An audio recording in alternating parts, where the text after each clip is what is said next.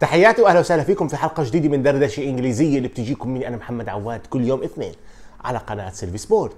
طبعا كالعادة في هذه الحلقة بنتكلم عن أحداث متنوعة صارت في هذه الجولة بس مباراة مانشستر سيتي وتشيلسي. عملنا عنها فيديو امبارح فروحوا شوفوه بالقناة. مش حنتكلم عنها في حلقة اليوم حنتكلم بقضايا مختلفة. منها كسل في نيوكاسل ردة فعل أرسنال وفوز مانشستر سيتي. ومدربين كبار راح يرحلوا عن الدوري الإنجليزي يبدو قريبا جدا. والاحتفال اللي آلم كثير ناس في هذا الأسبوع. وراح نتكلم أيضا عن نقطة تحسن فيها ليفربول وفرقت معاه كثير بعودة تياغو ألكانتارا. نبدأ بصورة فاردي مع رانييري الاحتفال المؤلم جدا. الاحتفال اللي للعلم أنا أشك إنه كان مقصود أنا شخصيا. يعني أنا أعتقد هو احتفال عفوي من لاعب جاءت قرب مدرب المصور شاطر لقطة الفيديو شاطرة جابوهم بهذه اللقطة. فأنا أشك إنه كان في أي نوع من التعمد لأنه فاردي بيعرف لو شو ما صار. بضل رانييري بالنسبة لجماهير ليستر سيتي حالة خاصة جدا. بس هو احتفال بوريك الوجه ربما المؤلم في كرة القدم الوجه اللي فيه مشكلة بكرة القدم. إنه بتكون مع واحد اليوم بكرة بصير خصمك بكرة بصير عدوك وبتلعب ضده وبعد سنتين بصير معك. هذا التقلب العاطفي المستمر صعب جدا في كرة القدم لكن أيضا بوريك قديش الإنجليز شاطرين باللقطة باللمحة بالصورة. قليل جدا الدوريات اللي بتقدر تصيد هيك شيء في مباراة بين ليستر وواتفورد. الشعبيه تاعت الناديين ما بتتعدى. تقريبا حدود المدن اللي بينتموا إلها. ومع ذلك كان في لقطة اجتاحت وسائل الإعلام الإنجليز. شاطرين كثير في هذا الشيء. في شيء ثاني أيضا خلينا نتكلم عنه نيوكاسل. نيوكاسل عم بيخسر مع أرسنال. الفريق بنعرف إنه جودته محدودة مشاكله كثيرة. لكن بدأت أشعر إنه لاعبين نيوكاسل بدأوا يراهنوا على السوق الشتوية. إدارة نيوكاسل بتراهن على السوق الشتوية. هذا الشيء منطقي.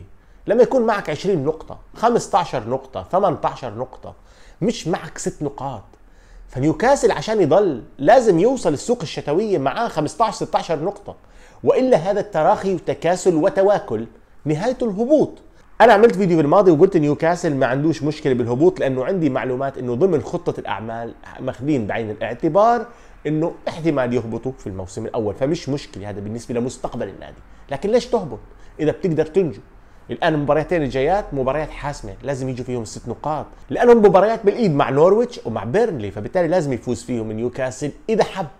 يكمل طريقه. لازم يوصل نهاية السنة مع 15 نقطة. لو ناوي يضل أقل من ذلك أعتقد شبه مستحيل. لأنه ما في صفقات بالشتاء. حتجيبها تقلب الفريق رأسا على عقب وتخليه يجيب 40 نقطة مثلا.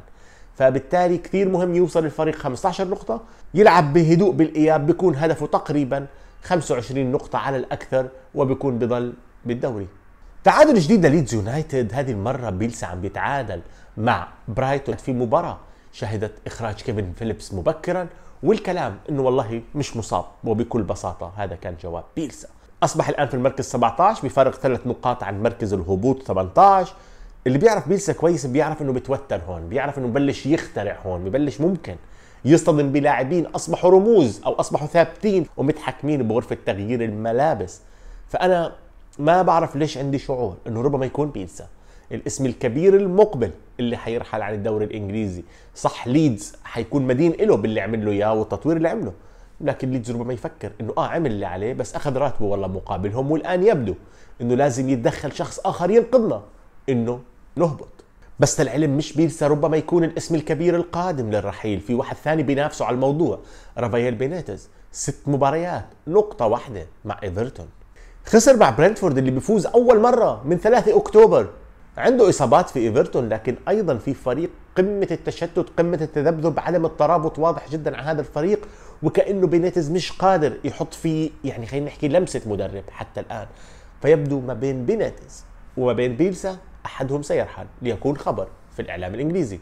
أرسنال ردة فعل ممتازة أمام نيوكاسل. أهم شيء في تلك ردة الفعل إنه شفنا نفس الشكل نفس الأفكار. أرتيتا ما ارتعب بعد خسارة ليفربول. آمن الآن إنه أهم شيء عشان تتطور. إنك تثبت. صرنا إحنا كمشاهدين لما نفتح مباراة أرسنال نعرف كيف راح يلعب مين راح يلعب كيف راح يتحركوا. بدأ الآن لأول مرة منذ وصول أرتيتا للفريق يصير في شيء اسمه منظومة نفهمها فلسفة واضحة. في شيء عم بيتحسن. الفريق طبعا أكيد لسه ناقصه أشياء وأكيد راح يرجع ينتكس. أنا بقول لكم راح يرجع ينتكس بعد فترة. ممكن ينتكس مباراتين ثلاثة متوقع ذلك. لكن الفريق بدأ الآن يكون له شكل ولما يكون له شكل حيصير ممكن تعديله بالسوق الصيفية المقبلة. بس لما ما يكون له شكل حتكون كل الصفقات مش مفهومة لأي حدا فينا. أهم شيء بهذا الفوز إنه أثبت إنه هذا الفريق أفضل نفسيا من الحالات الماضية لما كان يتلقى خسارة وفينهار لفترة طويلة. رغم سقوط ليفربول كان مؤذي لكنهم استيقظوا. لكن ليفربول أيضا عم برسل رسالة للجميع أنا مرشح فوق العادة للقب. أنا مثلي مثل مان سيتي ومثل تشيلسي. باختصار لما ليفربول يكون عادي عادي مش ممتاز لما يكون عادي ما في حدا بيعرف يلعب ضده أسلوبه.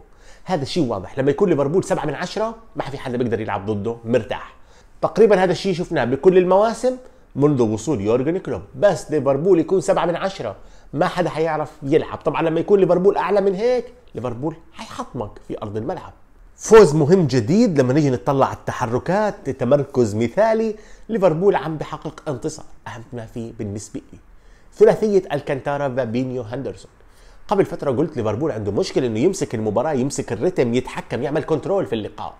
وجود الكانتارا مع وجود التوازن البدني اللي بيعطيه فابينيو وهندرسون مع بعض بخلوا هذا الفريق. عنده اللاعب اللي قادر يتحكم بالرتم قادر يتحكم بتغيير اتجاه اللعب قادر يتحكم بمنطقة التمركز والاستحواذ اللي هو الكانتارا طبعا بالمساعدة هون من هاندرسون وفابينيو وأيضا بخلي الفريق دفاعيا متوازن بفابينيو وهاندرسون وبمساعدة الكانتارا كان في مشكلة واضحة بالتحكم بالرتم كان في مشكلة واضحة بالتحكم بالاستحواذ باتجاه الكرة عند ليفربول قبل الكانتارا الكانتارا المفروض إذا تم الرهان عليه وتم تطويره وتم دمجه بشكل مثالي بشرط ما يخل بمنظومة أفكار كلوب اللي تكلمنا عنها قبل قليل إنه لما تكون طبيعية ما حدا بيقدر يلعب ضده. هون حيصير ليفربول فريق مشكلة كبيرة لأنه معاه كرة حيكون بهزمك بسرعته وبهزمك بقدرته على التحكم في الريتم في هذا الملعب. فهذا رهان مهم ما بين إنك تجيب الدوري أو لا. أعتقد مدى اندماج ألكانتارا في منظومة ليفربول. وبنختم مع مانشستر سيتي اللي حقق فوزه الخامس على التوالي منذ السقوط المفاجئ مع كريستال بالاس رغم الأجواء السيئة. جوارديولا أصبح الآن أكثر خبرة أكثر نضجا. إيه، وهي المباريات بيتعامل معها بهدوء وبسهولة. في الماضي كان كل مباراة فيها شتاء أو ثلج اللي بيذكروا جمهور برشلونة دائما فيها تعثر لجوارديولا لكن الخبرة التراكمية فادته. انتصار مهم على ويست هام استحواذ كامل مباراة تقريبا كانت من طرف واحد في معظم أوقاتها. وأجمل شيء عم بيحصل مع مانشستر سيتي إنه مين ما يلعب. بتشوف نفس الأفكار ونفس الفلسفة ونفس الأسلوب. مين ما يغيب ما بتحس فيه. دي بروين لعب ما لعب بطل يفرق فعليا وهذا الشيء صار واضح. آه دي بروين بيعطيك الناحيه الابداعيه المطلقة لكن عادي لو مش موجود. في منظومة عم تقدر تستوعب كل الموجودين واللاعبين نتيجة إطالة عمرهم بالفريق. أصبحوا جميعا عارفين أدوارهم للعلم. لو نلاحظ ليفربول أيضا ميزته إنه معظم اللاعبين لسه بيلعبوا مع بعض من سنين طويلة واللي راح لتاريخ الكرة الإنجليزية وتاريخ كرة القدم بشكل عام اللاعبين اللي بيطولوا مع بعض وبيعيشوا مع بعض بيجوا فجأة بيفاجئوك وبيحققوا إنجاز ما صار مثله. صارت مع أرسنال 2003 2004 بعد ما طولوا مع بعض سنين. حققوا الدوري بلا خسارة وصارت مع ريال مدريد من 2016 ل 2018 ثلاثية الأبطال بعد استدامة لسنوات ما بين نفس اللاعبين في الفريق. فأنا عندي شعور سيتي أو ليفربول بأي لحظة حيفاجئونا بإنجاز خارق. ما بتكلم عن دوري ربما بتكلم عن شيء أكبر من ذلك. ما بعرف متى وما بعرف شو. نوصل هون لنهاية هاي الحلقة. كنت معكم أنا محمد عواد موجود فيسبوك تويتر انستغرام وضروري جدا تتابعوني على قناة سيلفي سبورت في اليوتيوب. والسلام عليكم ورحمة الله.